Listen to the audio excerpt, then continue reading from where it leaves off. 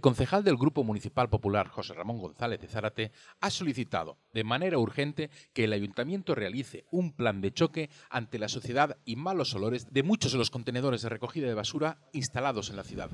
Este es el primer verano que Benidorm vive con los contenedores de recogida lateral y, como asegura el edil del PP, ha bastado el mes de julio para constatar el lamentable estado que presentan.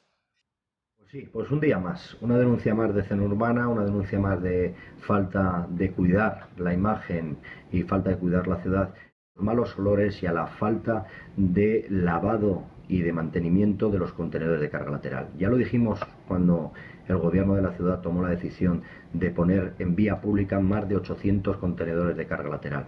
Nos iban a traer graves inconvenientes y que Benidorm vivía de su imagen. Eh, invito a cualquier ciudadano de Benidorm que ya lo está haciendo, ¿no?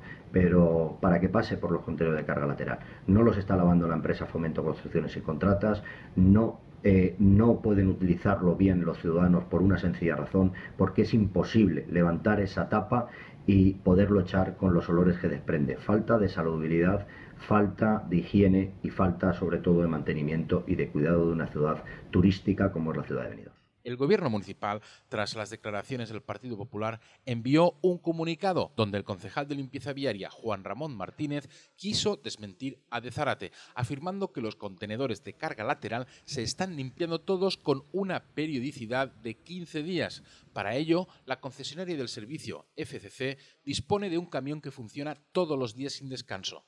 Además, el edil socialista afirma que a la concejalía no ha llegado ninguna queja sobre esta presunta suciedad. Bien, llegados a este punto, solo uno de los dos concejales tiene razón. Les invitamos a que sean ustedes mismos quienes juzguen quién la tiene.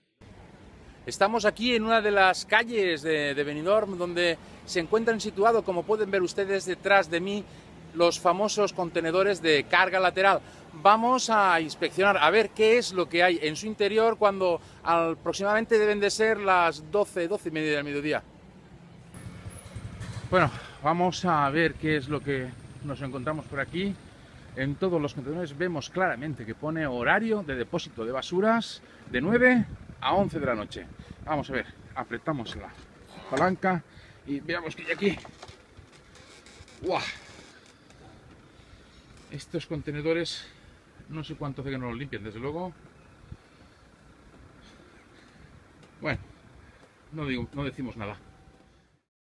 Señor Martínez.